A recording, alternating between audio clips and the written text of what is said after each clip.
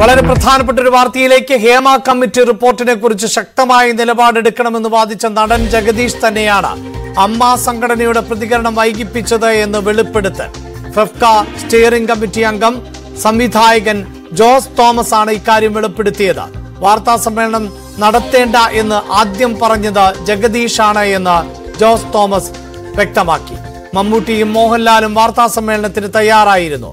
ഫെഫ്കയും അമ്മയും നിർമ്മാതാക്കളുടെ സംഘടനയും സംയുക്തമായി വാർത്താ സമ്മേളനം നടത്താനായിരുന്നു ആലോചിച്ചത്. എന്നാൽ ജഗദീഷിന്റെ എതിർപ്പിനെ തുടർന്നാണ് തീരുമാനം മാറ്റിയത് എന്നും ജോസ് തോമസ് പ്രൈം ഡിബേറ്റിൽ വെളിപ്പെടുത്തി. ജഗദീഷ് പിന്നീട് നിലപാട് മാറ്റിയെന്നും ജോസ് തോമസ് പറഞ്ഞു. അമ്മയിലെ ചിലരുടെ എതിർപ്പാണ് സംയുക്തമായി മാധ്യമങ്ങളെ കാണുന്നതിന് തടസ്സമായത് എന്ന് ഫെഫ്ക ഇന്നലെ പറഞ്ഞിരുന്നു. ഇതേക്കുറിച്ചുള്ള ന്യൂസ് എയ്റ്റീനിലെ ചർച്ചയ്ക്കിടെയായിരുന്നു ജോസ് തോമസ് നടന്റെ പേര് വെളിപ്പെടുത്തിയത്. ഈ ഹേമ കമ്മിറ്റി റിപ്പോർട്ട് പുറത്തു വന്ന അന്ന് തന്നെ ഉണ്ണികൃഷ്ണൻ മമ്മൂട്ടിയും മോഹൻലാലുമായി സംസാരിച്ചു. നമുക്കൊരു വാർത്താ സമ്മേളനം നടത്താം. ഇത്രയേ ഉള്ളൂ. ആ റിപ്പോർട്ട് ഒന്ന് പഠിച്ചതിന് ശേഷം ബാക്കി കാര്യങ്ങൾ തീരുമാനിക്കാം. അന്ന് ഒരു നടൻ അതിലിടപെട്ടിട്ട് പറഞ്ഞു പത്രസമ്മേളനം നടത്തരുത്. മാധ്യമങ്ങളെ കാണരുത്. നമ്മൾ എന്തിനിപ്പോൾ കാണണം? എന്ന് പറഞ്ഞപ്പോൾ ഈ പ്രധാന നടന്മാർ അതിനെ സമ്മതിച്ചു കൊടുത്തു. ഇതാണ് അന്ന് വാർത്താ സമ്മേളനം നടക്കാതെ പോയി. പിന്നെ അങ്ങനെ അങ്ങനെ ഇടപെട്ട ആൾ ആരാണ്? അമ്മയെ അമ്മയിലെ ഒരു പ്രധാനിയാണോ അത്? ജഗദീഷാണ് പറഞ്ഞത്. എനിക്ക് പറയുന്നതിന് ഒരു വഴിയില്ല ജഗദീഷാണ് പറഞ്ഞത്. അങ്ങനെ ചെയ്യരുത്. താങ്കൾ ഗുരുതരമായ ഒരു ഗുരുതരമായ ഒരു കാര്യമാണ് പറയുന്നത്. ജഗദീഷ് ഇങ്ങനെ വാർത്താ സമ്മേളനം നടത്തരുത് എന്ന് പറഞ്ഞതുകൊണ്ട് മമ്മൂട്ടിയും മോഹൻലാലും അത് വേണ്ട എന്ന് വെച്ചു എന്നാണോ താങ്കൾ പറയുന്നത്? ഞാനല്ല. ഇത് ഉണ്ണികൃഷ്ണൻ ഞാനുമായി സംസാരിച്ചപ്പോൾ വന്നതാണ്. ഇത് ഞാൻ ഇപ്പൊ പുറത്ത് പറയുന്നത് ഞങ്ങൾ പത്രസമ്മേളനം നടത്താൻ ഫെസ്ക നടത്താൻ താമസിച്ചത് ഞാൻ നേരത്തെ പറഞ്ഞിരുന്നു. ഈ കമ്മിറ്റി വിശദമായി ഈ കാര്യങ്ങൾ പഠിച്ചിട്ട് കമ്മിറ്റി റിപ്പോർട്ട് പഠിച്ചിട്ട് ഞങ്ങളുടെ ജനറൽ കൗൺസിൽ കൂടി ഇത്തരം ചോദ്യങ്ങൾ മുഴുവൻ കൊടുത്ത് അവരിൽ നിന്ന് ഉത്തരം തേടി മൂന്ന് ദിവസം എല്ലാ പ്രധാനപ്പെട്ട അംഗങ്ങളുമായി നിരന്തരമായി ചർച്ച നടത്തിയിട്ടാണ് ഇങ്ങനെ റിപ്പോർട്ട് ഉണ്ടാക്കിയത്.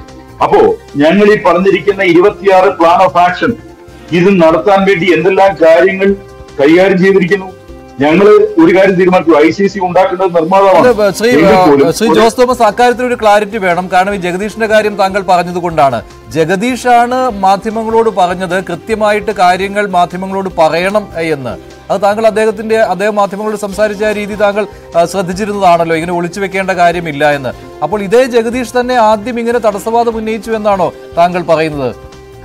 തടസ്സവാദം ഉന്നയിച്ചു എന്ന് ഡി ഉണ്ണികൃഷ്ണൻ പറഞ്ഞതാണ്. മാത്രവുമല്ല മമ്മൂട്ടി മോഹൻലാലിന്റെയും ഒക്കെ പ്രസൻസിലാണ് ഇത് പറഞ്ഞത് എന്ന് എന്നുള്ളത് സത്യസന്ധമായ കാര്യമാണ്. ഇത് പറയുന്നതിന് എനിക്കൊരു മടിയുമില്ല. പക്ഷെ ഇക്കാര്യത്തിൽ ജഗദീഷ് ഒരു ഹീറോയായി മാറുകയായിരുന്നു. കാരണം അമ്മയിൽ അമ്മയിൽ കൃത്യമായിട്ട് ഒരു സ്റ്റാൻഡ് എടുത്തയാളെന്ന രീതിയിലാണ് ജഗദീഷിനെ പിന്നീട് കാണാനായത് ശ്രീ ജോസ് തോമസ്.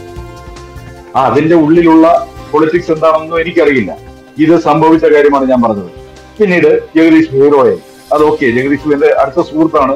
പക്ഷെ അന്ന് അദ്ദേഹം പറഞ്ഞത് എന്തുകൊണ്ടാണ് മാറ്റി പറഞ്ഞത്? ചിലപ്പോൾ പിന്നീട് തീരുമാനങ്ങൾ മാറ്റി കാണാം. അദ്ദേഹത്തിന്റെ മനസ്സിൽ മാറ്റങ്ങൾ ഉണ്ടായി കാണാം. ഞാൻ അങ്ങനെ വിചാരിക്കാം അതെ എന്തായിരുന്നു അന്നത്തെ തടസ്സം? മാധ്യമങ്ങളോട് സംസാരിച്ചാൽ മാധ്യമങ്ങൾ കൂടുതൽ ചോദ്യങ്ങൾ ഉന്നയിക്കും. അതുകൊണ്ട് അമ്മ സംഘടനയ്ക്ക് അതിൽ പിടിച്ചു നിൽക്കാൻ പറ്റുകയില്ല എന്നായിരുന്നു ജഗദീഷ് ജഗദീഷ് അങ്ങനെ പറഞ്ഞപ്പോൾ അത് വേണ്ടാന്ന് തീരുമാനിക്കപ്പെട്ടു എന്നേ ഉള്ളൂ. അത് എന്താണ് അതിന്റെ കാരണമെന്ന്? അതിന്റെ റീസൺ കൃത്യമായി അറിയില്ല.